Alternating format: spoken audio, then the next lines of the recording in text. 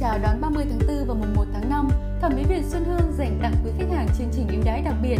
Giảm 50% tắm trắng triệt lông giảm béo, giảm đến 40% các liệu trình trị nám, tàn nhang, trị sẹo, giảm 30% độ cằm vi lai, giảm 20% phương xăm thẩm mỹ, thẩm mỹ răng,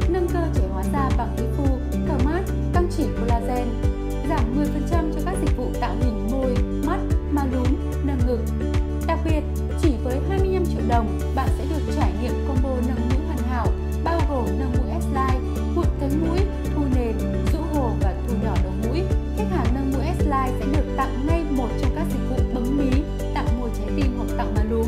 Chương trình được áp dụng từ ngày 1 tháng 4 đến ngày 1 tháng 5 năm 2016. Hotline 1800 6999 Thẩm mỹ viện Xuân Hương, nơi gửi gắm niềm tin của phái đẹp.